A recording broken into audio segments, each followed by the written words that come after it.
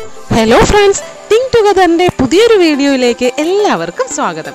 ഇന്ന് ഞാനിവിടെ വന്നിരിക്കുന്നത് ഒരു ഹെൽത്തിയായ ടേസ്റ്റിയായ മാംഗോ ഐസ്ക്രീമിന്റെ റെസിപ്പിയുമായാണ് നമ്മുടെ നാട്ടിൽ സുലഭമായി കിട്ടുന്ന മാങ് മാങ്ങ വെച്ച് വളരെ ടേസ്റ്റി ആയതുണ്ടാക്കാം അതിനു മുൻപ് ഈ ചാനൽ ഇതുവരെ സബ്സ്ക്രൈബ് ചെയ്തിട്ടില്ലെങ്കിൽ സബ്സ്ക്രൈബ് ചെയ്തേക്കുക.